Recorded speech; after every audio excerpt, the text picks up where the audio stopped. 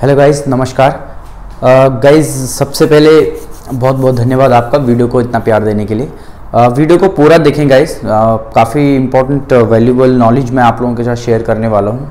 और वीडियो के एंड में मैं आपको एक रेसिपी भी बताऊँगा। जैसे है कि अभी हम एवरी वीडियो में मैं ट्राई करूँगा। वीडियो के एंड में आपको एक रेसिपी बताऊँ। मैं प्रैक्टिकली करके नहीं बताऊँगा। मैं आपको एक रेसिपी बताऊँगा and you can note it down चाहे आप घर पे देख रहे हो या फिर होटल में हो या रेस्टोरेंट में है या फ़ूड इंडस्ट्री में कहीं पे भी हो इवन दो आप सर्विस में भी हो तो भी आपके लिए रेसिपीज़ काम आने वाली हैं। क्योंकि सर्विस में भी कभी कभी गेस्ट को एक्सप्लेन करने के लिए आपको रेसिपीज़ होना रेसिपीज़ का पता होना बहुत ही ज़्यादा ज़रूरी है। सो so गाइज़ ये है तो वीडियो को आपको पूरा देखना है और वीडियो को जल्दी से सब्सक्राइब कर लो गाइज़ ये बहुत इंपॉर्टेंट है। सो गाइज़ टॉपिक है आज का मेनली बात यही है कि काफ़ी लोग सोच रहे हैं कि अभी uh, कोरोना वायरस का नया वेरिएंट आ गया है तो सिचुएशन क्या होने वाली, क्या जॉब में इसके अफेक्ट पड़ रहे हैं, या जॉब ढूँढने के लिए जो अब्रॉड में टूरिस्ट वीज़ा का प्लानिंग कर रहे हैं, क्या उनके करियर पे या फिर उनके जो विज़िट है उस पर कोई इफ़ेक्ट होने वाला है इस कोरोना वायरस से? सो so गाइज़ एक चीज़ मैं क्लियर कर देता हूँ, अभी यूएई के अंदर और कंट्रीज़ का मुझे, मैं आपको कॉन्फिडेंटली नहीं बोल सकता, लेकिन यूएई के अंदर अभी सिचुएशन जॉब ऐसा कुछ नहीं है। आप क्लियरली यहाँ पे आ सकते हैं, आप जॉब ढूंढ सकते हैं, आपको जॉब भी मिल जाएगा। वैकेंसीज भी हैं तो अभी बहुत ही ज़्यादा नॉर्मल सिचुएशन है। अभी ऐसा यहाँ पर कुछ भी नहीं है। और कंट्रीज़ का मैं आपको कॉन्फिडेंटली नहीं बोल सकता, लेकिन मैं स्पेशली यूएई का बोल रहा हूँ, क्योंकि मैं यहाँ पे रह रहा हूँ, और दुबई में तो बिल्कुल भी ऐसा नहीं है अभी तक। सो आई होप कि आगे भी ऐसा ही रहे कंटिन्यूसली जैसा अभी चल रहा है। तो ये है गाइज़ तो अगर आप विज़िट वीज़ा का प्लानिंग कर रहे हैं तो आप मिनिमम थ्री मंथ का विज़िट वीज़ा पे आओ। वो ज़्यादा बेटर रहेगा आपके लिए। क्योंकि एक महीने में कभी कभी यू नो आपको जाना पड़ता है इधर उधर देखना पड़ता है, फिर आप यहाँ पे आके यहाँ पे भी कुछ लोकल एप्लीकेशंस है, उसमें भी जॉब्स मिलती है, वो एप्लीकेशन डाउनलोड करोगे नंबर लोगे। तो टाइम लगता है। तो एक महीना मेरे हिसाब से कम हो जाता है। तो अगर आप विज़िट वीज़ा का प्लानिंग कर रहे हैं तो मिनिमम आप तीन महीना का आओ। तीन महीना कभी कभी जॉब सर्च करने में नहीं लगता है। कभी कभी एक डेढ़ महीने में ही आपको जॉब मिल जाती है। लेकिन जैसे आपको कोई अच्छा कंपनी मिल गया तो वो कंपनी आपको ऑन द स्पॉट जॉब तो नहीं देता है, क्योंकि उसके प्रोसेस में मिनिमम एक महीना भी लग सकता है या फिर उससे भी ज़्यादा लग सकता है। और 20 से 25 दिन तो लगता ही है। कहीं पे अर्जेंट रिक्वायरमेंट होता है, वो बात अलग है। सो so, यूएई में अभी सैलरी में कोई अफेक्ट नहीं है गाइज़ सैलरी भी वही दे रहे हैं फैसिलिटीज़ भी वही हैं और कोविड का यहाँ पे कोई भी ज़्यादा इशू नहीं है. But yes at the same time हम लोग जब भी बाहर जा रहे हैं जो भी यहाँ पे बाहर जा रहे हैं ऑब्वियसली प्रॉपर मास्क पहन रहे हैं प्रॉपर सैनिटाइज uh, uh, वो सब फॉलो uh, कर रहे हैं rule and regulation but yes job से रिलेटेड यहाँ पे अभी भी अभी कोई ऐसा सिचुएशन नहीं है. बहुत सारे रेस्टोरेंट्स ओपनिंग में डिलेज हो रहे हैं. वो ड्यू टू बहुत सारी चीज़ें होती है, काफ़ी रेस्टोरेंट्स जैसे ओपनिंग रेस्टोरेंट हैं तो वो जैसे उनका शेड्यूल अगले महीने हैं को तो एक दो महीना लेट हो रहे थे रीज़न इज़ कभी कभी ये होता है कि रेस्टोरेंट्स का कंस्ट्रक्शन टाइम पे रेडी नहीं होता स्टाफिंग रेडी नहीं होता, या फिर डिलीवरी या फिर बहुत सारे उसमें चीज़ें होती हैं जो कि यू नो इक्विपमेंट्स बाहर की कंट्री से चीज़ें ऑर्डर करना, क्योंकि एक रेस्टोरेंट के लिए आप सिर्फ़ सब कुछ यूएई में में नहीं मिलेगा। बहुत सारी चीज़ें बाहर से मंगवानी पड़ती है दूसरी कंट्रीज़ से। तो इस वजह से भी कभी कभी रेस्टोरेंट्स डिले हो जाते हैं। तो ये था गाइज़ सो क्लियरली मैं बोल रहा हूँ आपको, आप यू डेफिनेटली e आ सकते हैं विज़िट वीज़ा पे जॉब सर्च कर सकते हैं। एंड एक बार एक चीज़ मैं और क्लियर कर देता हूँ गाइज़ मैं कोई जॉब नहीं देता हूँ। बहुत सारे लोगों को लगता है कि मेरा खुद का कंसल्टेंसी है और मैं जॉब देता हूँ। नहीं ऐसा बिल्कुल भी नहीं है। सो आप जॉब के लिए अगर मुझे मैसेज कर रहे हैं तो ये ऑलमोस्ट फजूल है।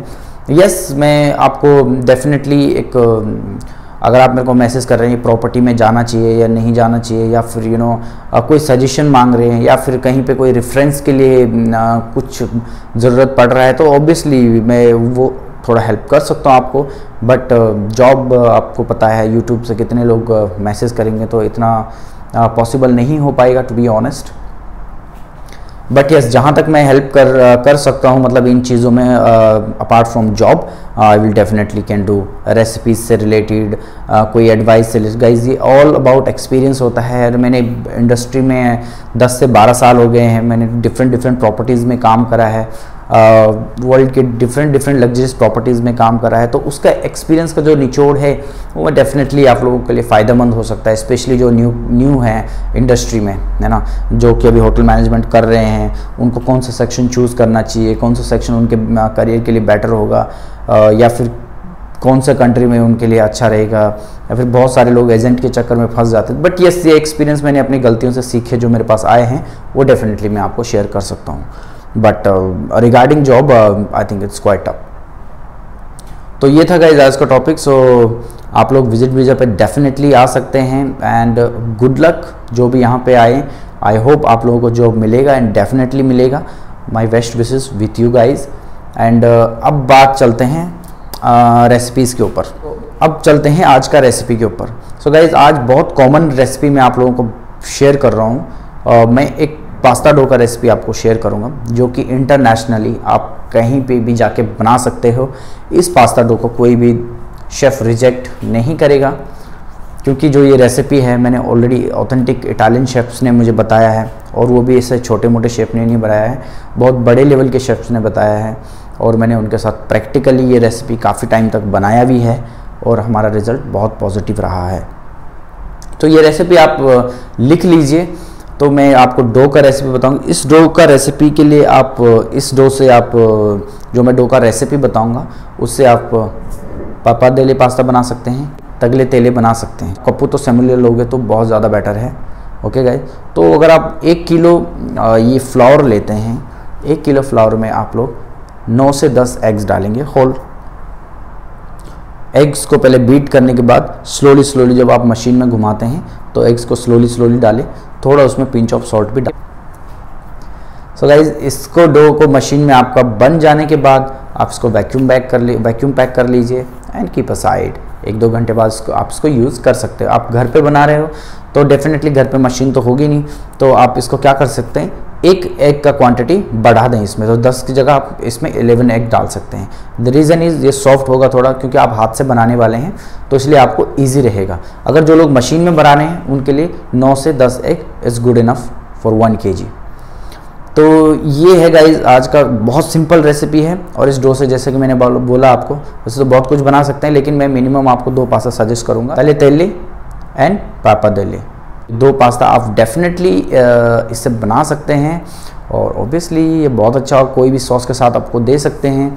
आप मीट के साथ दे सकते हैं, रघु के साथ दे सकते हैं, आप इसको बटर मिल्शन के साथ दे सकते हैं आप इसको मशरूम सॉस के साथ दे सकते हैं। तो सॉस आपके चॉइस के ऊपर है, आपको ये कौन से सॉस के साथ देना है। बहुत सारे लोग टमाटो सॉस के साथ भी देते हैं। टमाटो सॉस मुझे पसंद नहीं है इसके साथ but if you want of course you can तो ये है guys your choice but the recipe is this so ये वीडियो आपको कैसा लगा? डेफिनेटली अपने कमेंट्स में बताओ गाइज़ मुझे and good luck care thank you very much for watching this video stay safe